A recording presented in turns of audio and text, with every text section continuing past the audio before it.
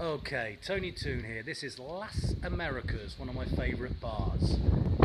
So, let me show you why. Let's have a look at the wall. Now, you can see here, we have different beers. You can see the prices. Okay, my favourite is the German Erdinger. So, for a big glass, 40 centiliter, one euro 80, and then the smaller one half pint, a euro. Also, as you can see, they can get Grolsch in here. A few other beers. Okay, so 1906 is there as well. Nice pictures. Now we have a nice outside terrace.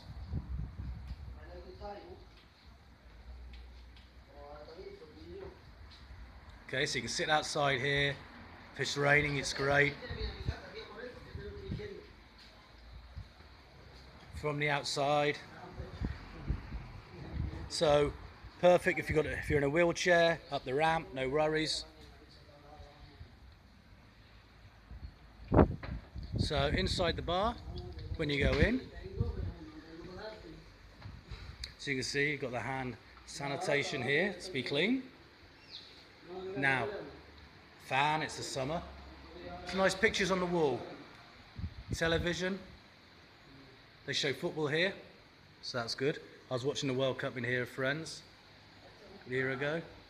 Uh, toilets here for the men, over here the women. You've got the spinning machine. I love the kegs up here. I'd like to have a straw feeding me. Coffee as well. Spirit shelf. It's all cl very clean. If you want to order food and the food's good here, you do it from the table. You got the scan there. So Las Americas, great bar, one of the best bars in El Puerto. I love the clock. Bef before this was refurbished, they had on the wall over here about the Titanic, because it's to do with boats. So there you go. Okay, so this is Las Americas. Great bar, I highly recommend it.